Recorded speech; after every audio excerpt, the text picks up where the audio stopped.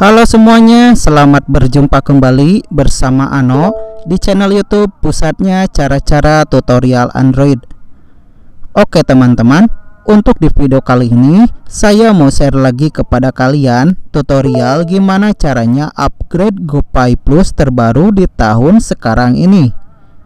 Nah, buat kalian yang mau tahu tutorialnya, tinggal tonton video ini sampai selesai ya. Tapi sebelum mulai ke videonya, saya minta dukungannya buat channel ini. Caranya dengan klik dulu tombol subscribe dan aktifkan juga tombol loncengnya agar kalian tidak ketinggalan info tips tutorial selanjutnya dari channel ini. GoPay merupakan uang elektronik yang bisa dipakai untuk melakukan transaksi pembayaran dan keuangan. Tak hanya layanan aplikasi Gojek saja, GoPay juga bisa digunakan untuk melakukan pembayaran pada toko atau restoran rekan usaha GoPay. Transaksi keuangan lainnya seperti transfer saldo GoPay ke sesama pengguna dan ke bank juga bisa dilakukan. Syaratnya dengan mengupgrade ke GoPay Plus.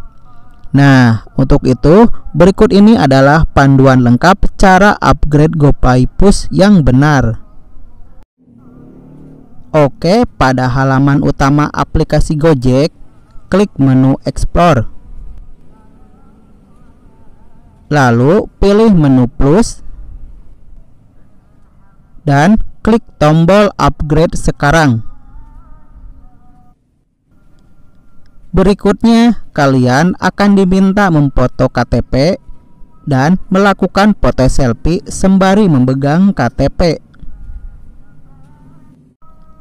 Pastikan foto yang akan diupload tidak blur dan harus terlihat jelas. Setelah selesai, klik tombol kirim. Nah, nantinya akan muncul notifikasi yang memberitahukan bahwa upgrade sedang diproses.